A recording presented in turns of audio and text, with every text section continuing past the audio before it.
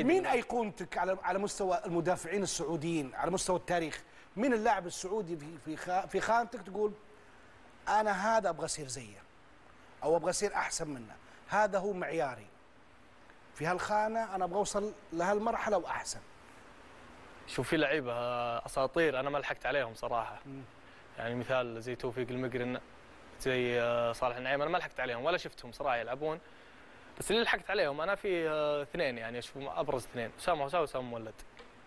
اسامه هوساوي واسامه مولد. اي اشوفهم هم- أبرز اثنين لحقت المعيار. عليهم أنا. اي اي إيه. هم المعيار بالنسبة لك. هم الأفضل. وأكيد آه، يعني أنت تشوفهم تحاول تأخذ منهم الشيء الكويس تتعلم منهم الشيء الكويس والشيء اللي تحس إنه ما- ما يناسبك أنت أكيد تتجنب. على مستوى العالم من يعجبك؟ فيه الحين راموس. راموس. كان ودي يجي الدوري الصراحة. إحنا ودنا عندنا واحد زي راموس. يا رب.